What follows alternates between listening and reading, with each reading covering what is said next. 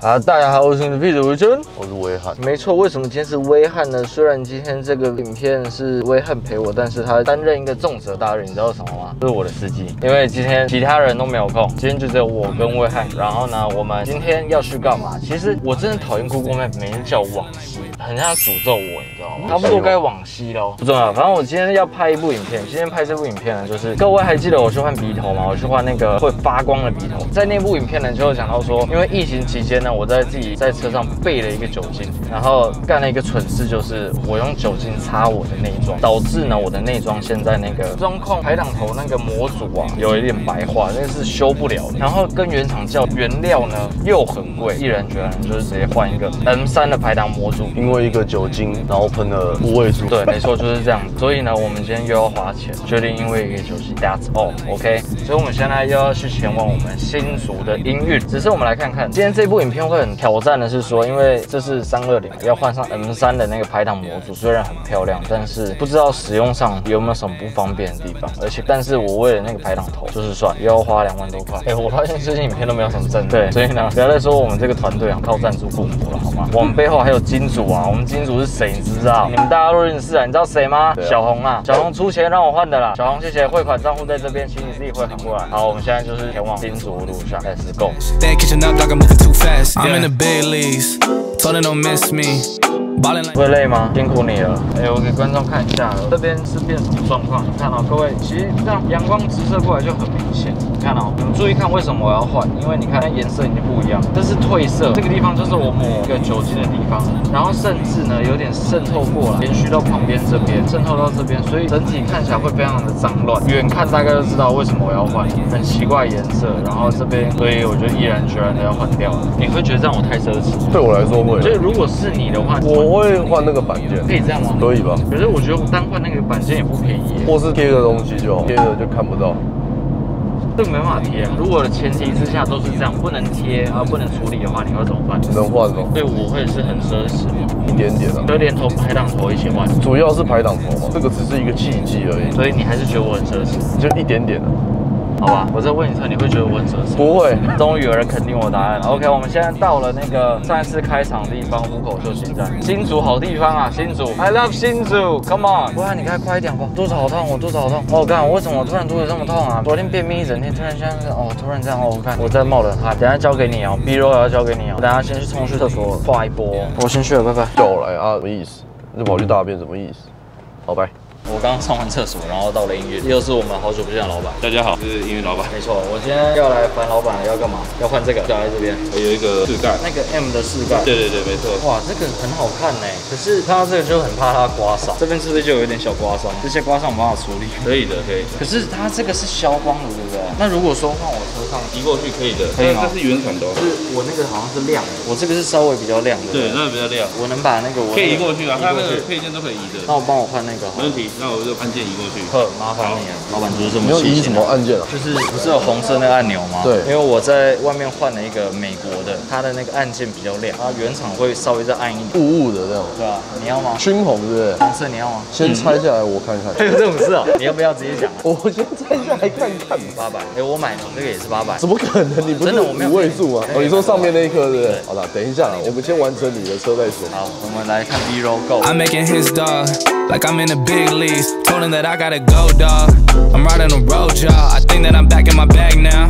So I need that go, yo. 老板，你知道为什么我想换掉吗？因为我看你这边，雾掉了，对啊，这应该是有用到挥发性的酒精，然后直接用酒精擦变这样，所以我才想要换。我我以为你是喜欢消光的，故意把它。没有啊，我这个救不了哎、我其实原本异想天开，想把整个面板拆掉，拿去烤，喷一层精油层，应该不好搞。不好搞。对，因为它上面还有喷上去，它字可能会比较淡。对，原厂的那个质感。也是啊，所以老板你会觉得这个好看还是原厂？说真的没关系，这是要亮一点。如果是老板，你会用这个还是原厂？我会用原厂的。好，谢谢，我用原厂的，我都听老板的，我现在要专心听老板的话，不然每次搞完都有问题。They said I can't blowing euros when I'm down in France. Labels asking how I build a brand. Told them put a check up in my hands. Who got time, no cap. Made a few checks, but they all in the rest. Had a few friends, but they suck in the past. I don't even trip when I'm thinking about that. Hopped in the whip and we all in black.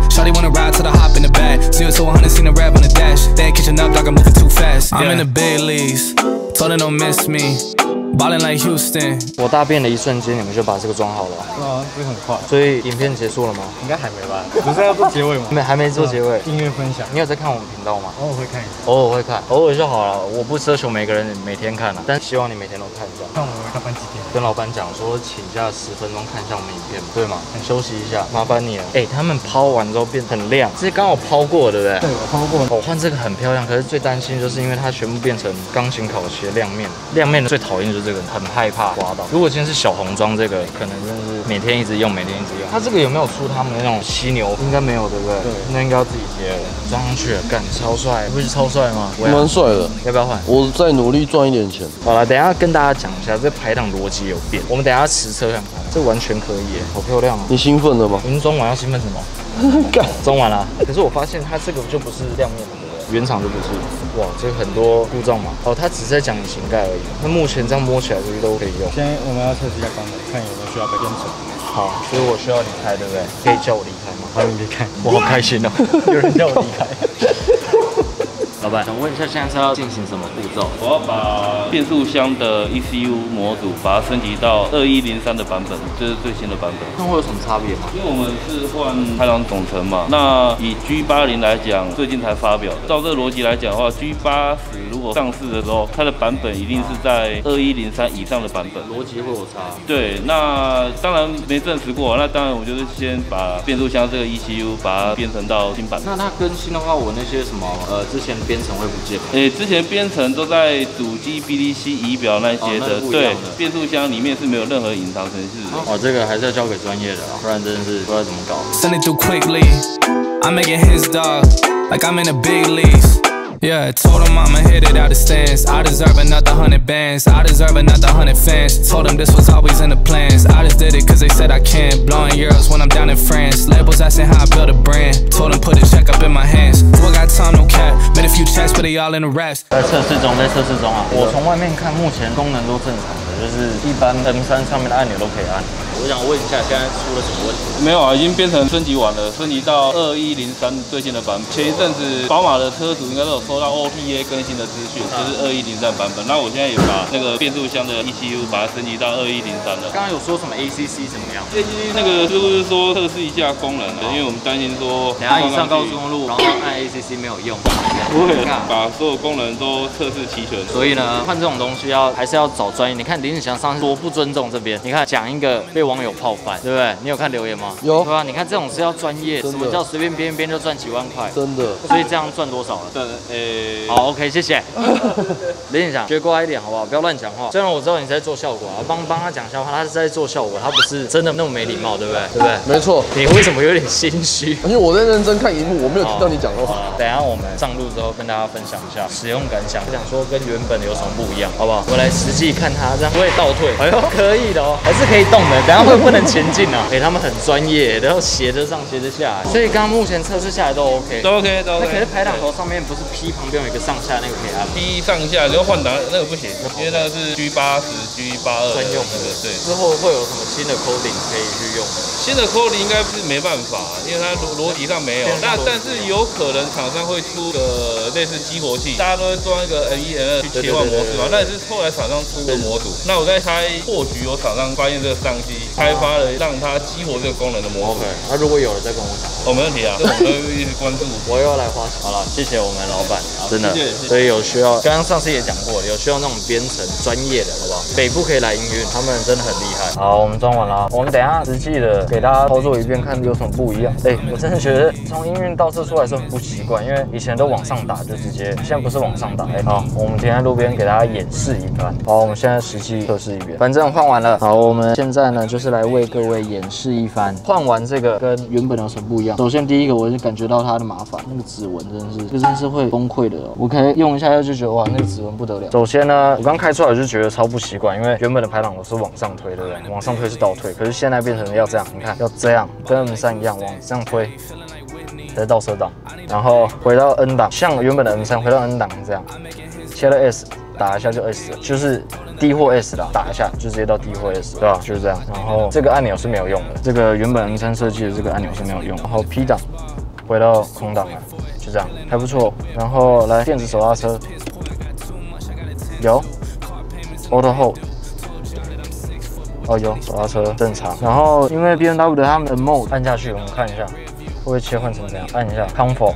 有，然后再按一下 Comfort Pro，然后再来第二颗按键，这颗按键原本是 Eco 嘛 A 口嘛，节能模式有，然后最后一个，这个就是我大概知道的牺牲的结果。按这颗阀门的是没有用的，因为原本是 Sport 嘛，所以没有用，所以只能用这边替代。还好我有换这个，还是得靠这边去切换它的模式。我觉得 OK 啊，因为的确这样会有点不方便，但是对我来讲，我觉得没有差，因为我自从装了这两个小红豆啊，我后来都没有再按这边的来切换模式，所以我觉得没有差。然后这些功能好像都正常，来防滑按一下就有差了，就防滑牵引控制器 OK，然后环景按一下 OK 都正常。再来停车有了，停车有了，所以都是 OK 的。然后最后一个就是自动熄火，这我也是不会按，因为我现在在 Sport，所以要切回 Comfort。对不起，我也会忘记。好啦，那其实都 OK，好爽，有新的排档头，那你又不换，有这个镂空排挡要，不要换吗？男人最喜欢镂空了，为什么？哪里？镂空。你刚刚是做一个很猥亵的动作，没有，我是代表那边有镂空有一个洞，我只是用给人家做一。个很猥亵的动作。算了，你自己讲，教我怎么讲这个镂空来。镂空这样啊，你是操你！我这边也可以啊，你看，这样也可以啊，直接捅进去哎。当然直接捅，然后在外面迂回的。OK OK，好啦，所以呢，今天改车日记就这样结束了。我已经感觉到它非常麻烦的一点就是它会一直擦，所以你要准备一块眼镜布，希望厂商可以推荐我们好厉害的眼镜布，这个就很厉害了，对吧、一堆，然后才卖几块钱。哎、他们刚抛完之后的确好很多，变很亮了。变很亮，可是我已经感觉到它未来的麻烦了。好了，就这样了。所以呢，喜欢我们今天影片呢，别忘记订阅、标记、分享、按赞，也别忘了追踪我们三个人的 IG，还有威汉的 IG。OK，everybody，、我是比君。我是威汉，OK，我们下部影片再见了。发现你真是一个很怕死的人，就是防护做的真的是非常的完善。没有啊，就因为不是只有我一个住啊，一个住就算了。我回家真的是全部清洁是，啊，好吗？就然后这家伙星期四要做大什么？白痴不要捡这个东西呀、捡这个东西。